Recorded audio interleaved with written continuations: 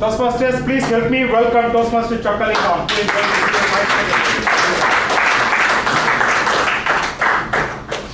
I hope some of you in this room might have seen the movie Autograph.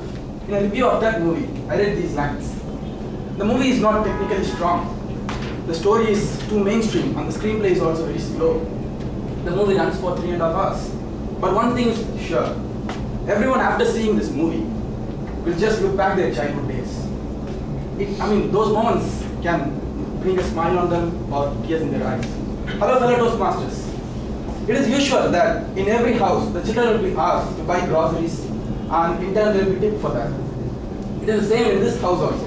But one thing is different. The tip amount is way lower than the market value. The boy was tired of ask, I mean, uh, asking a rise in his tip amount. But uh, the management didn't give any. So instead of asking, he just started looking out, uh, is there any loophole in the process of supply and logistic process? And he found one. And he started making money out of it. He was very happy because he could make some money out of it without, without his parents, uh, I mean, uh, vision or something. So um, it went well for some time, and uh, he used that money to share with his friends and all. He spent his money with his, with his friends. So everything went normal. Uh, at one time, when he was buying uh, things or snacks items for his friends, he get caught with his sister. So she would have ignored the scene if it was around one or two packets of Lays. But at that time, he was holding 10 packets of Lays here and 10 packets of Cheetos here and two bottles of Pepsi here. And one thing led to the another. So he was in the center of the room and everyone in the family were surrounding, surrounded, I mean, uh. So he was explaining the scam to everyone. Mom, you are too accurate with the prices of every groceries than shop than the shopkeeper. So I can't cheat you in that. But one thing, you don't have any measurements, right, to weigh them. So instead of, uh, I took advantage of that. Instead of buying 1 kg of sugar, I bought 0.8 kg of sugar. Instead of buying 2 kg of wheat, I bought 1.8 kg of wheat. So in this manner, I made money. The screen freezes. Yeah, this is based on true life incident, and the boy was me. It happened when I was studying fourth standard. So after six years, after completing my 10th standard, my parents put me up in the residential school at SRV Rasipuram. So I moved from Madurai to Rasipuram uh, to do my plus one and plus two. So everything around me was new. So I was very much excited to live my own life. On the very first day, the teacher asked this question. Is there anyone who is a topper in your old school? Yeah, I'm a topper. I just raised my hands. I got 993 out of 1100. So I just raised my hands. And I saw no one in my bench is raising their hands. So simple. I'm the topper of my bench also. I asked the guy who was sitting right next to me. Hey you, what's your mark? 1069. 1069? And you're not a topper? Yeah. 1088 is the first mark in my school. I got only 1069. I'm actually impressed. Give it up. That's it. I clearly understood the intention behind the teacher's question. The next two years were awesome, wonderful, and unforgettable, apart from academics. So, after completing my 12th standard, so it is the time to make an important decision in my life. So, two roads in front of me. Neither of them is less traveled by. Instead, both of them are more crowded. One is MBBS and another one is engineering. So my mom wants to wants me to go in this direction. So because she loves it a lot, but I want to go in this one. So some of the conversation between me and my mom in those periods were, son, we already have two engineers in our house, so it's boring now. Do MBBS. No, I can't. You can serve the country, you can serve the poor who is in need. No, ma, I can't. Okay, you can make a lot of money. No, I can't. You will get a good wife, man. What? What? yes, you're. Yeah, you get a beautiful wife. man. Yes, you're correct sometimes, but no. Uh, I need a peaceful life rather than a beautiful wife. I just choose this one instead of this one. It is more colorful than the one, I mean, than the one which is full of white color dresses.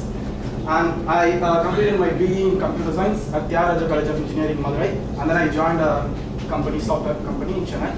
And currently I'm working, working in that, Athena Health.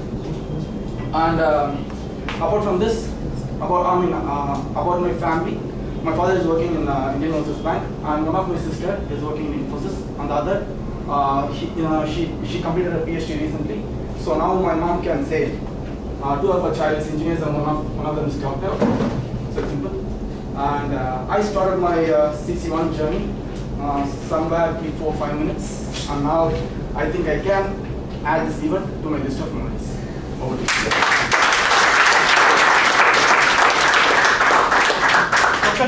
I strongly suspect whether you are giving your CC speech or you are repeating your CC1 speech after completing CC10. what a speech, man. What a way of opening your Toastmasters journey. I could see body language, vocal variety, humor, whatnot.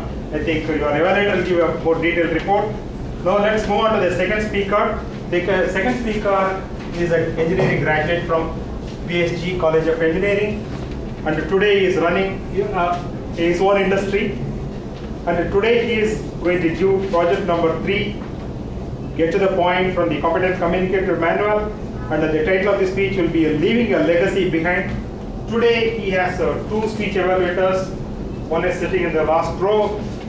Now let me call upon the official evaluator, Toastmaster Khalil Rahman. Hi.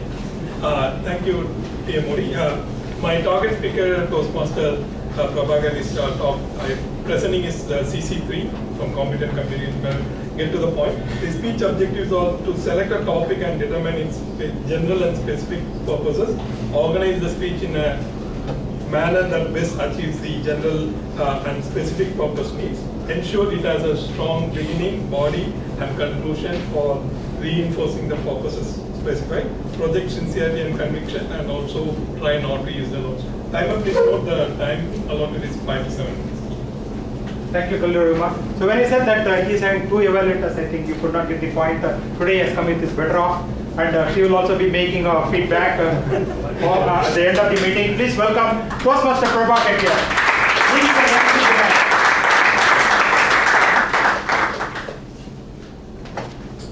uh, wonderful introduction.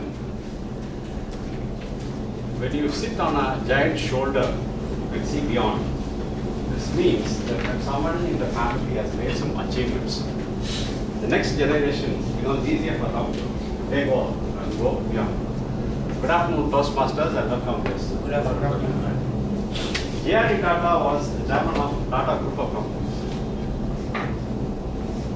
He started many companies during his tenure, and the most important among them were TCS, from where you are coming, Telco, which is now known as Tata Motors, and Air India. In fact, he was the first pilot in our country. When he took over, the net worth of the company was $100 million. But when he handed over the, to the next chairman, it was 5 billion US dollars. The next generation, Ratan Tata took over and he added and went on to make 100 billion dollars. So that is the type of legacy which he was leaving behind for the next people to take over. Now, leaving a legacy behind is not necessarily confined to properties or companies which one can do in life. It could also mean values in life. O'Hare was a successful lawyer practicing in Chicago. In the 1920s, there was prohibition in the US, and there was one man who was supplying illicit alcohol, and he started gaming houses, casinos, and brothels. And this man was a ruthless gangster. Anybody who was challenging him used- used to shoot them. And whenever had very strong cases against him, Eddie O'Hare was the lawyer who used to brilliantly argue his cases in the court of law, and the judge would dismiss his case as insufficient evidence. That man, brilliant gangster, was Al Capone. Now O'Hare was a lawyer who was helping Al Capone in all these ways, and he had a soft spot for his, he had a family two daughters and one son. He had a very strong liking for his son. He wanted his son to have good education, had cars, and he also told him what is good and bad. He wanted his son to be a better man than him. But he wanted to get out of this gangster's life. It was not so easy.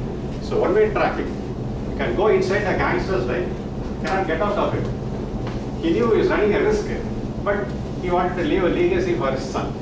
What type of life he was leaving. So one day he said, enough is enough.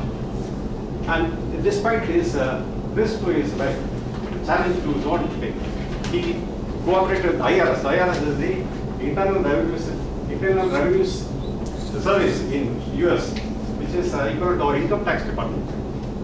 He pointed out to the accountant who was maintaining the accounts in a very coded form. The federal authorities had enough uh, evidence to prosecute Al Capone, not for the murders which he committed, but for evading income tax. He was serving uh, 11 years in prison. And true to O'Hare's fears, he was shot dead before Al Capone was released from the prison. Now the junior O'Hare was brought up by his father, who got, had, had values in life. He joined the Navy. He became a pilot. And during the World War II, he was leading the third squadron and shot on many Japanese uh, aircrafts. Then in the, when the fuel went low, he also was shot. But his, his performance was exemplary during the World War II. Recognizing his contribution to the Navy, the US government named the Chicago International Airport as Chicago O'Hare International Airport. So people who have reached the pinnacles of life have not done in one giant step. They made little little things and went to the top. Our own president says, your life may be an instant, but your life should be history. So how we can do little things, small, small things in life and go to the top. Anyone who gets up after 6 o'clock in the morning, please raise your hands.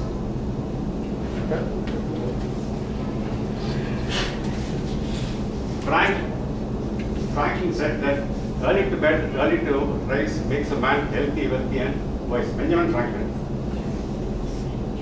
So, little things which we do is all big steps which will add up to our own. Coming to my own story, my father comes from a very humble background. He had no formal education and he learned English under a private tuition.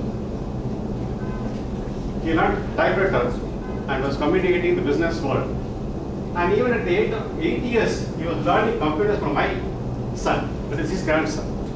So I have been inspired by, by my father and I am now learning the art of public speaking by joining the Toastmasters Club.